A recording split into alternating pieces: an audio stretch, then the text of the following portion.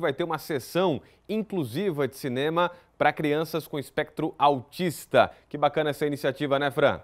É verdade, Rodrigo. Toda uma ambientação, uma mudança aí para que as crianças tenham mais tranquilidade para assistir um filme na sala de cinema, né? Uma das mudanças, por exemplo, é que a sala de cinema não fica totalmente escura.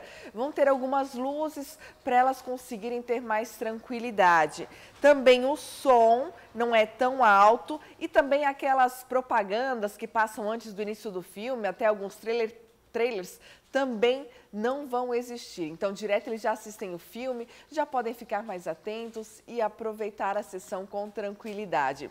Ah, o transtorno de espectro autista é uma condição de saúde né, que caracteriza como um déficit de comportamento social e de comunicação também. Algumas crianças têm um, déficit maior, outras menor e tudo sempre é, para essas crianças merece uma atenção especial, um acompanhamento que vai desde psicólogo, fonoaudiólogo, fonoaudiólogo. É um trabalho incansável que as mães, os pais precisam ter e que, claro, com ações como essa, né, uma sessão de cinema especial, também facilita, porque elas precisam ter atenção especial, não só ali, né, mas também na educação, na saúde, em todas as áreas, o lazer também. O filme que eles vão ver, Rodrigo, é o Meu Amigãozão. Vai começar às duas horas da tarde, ali no Norte Shopping, e então as famílias aí que têm esses pequenos prodígios estão convidadas. Volto com você no estúdio. Ô Fran, não sei se você sabe, mas tem vagas ainda ou já é tudo fechadinho assim, as vagas antecipadamente?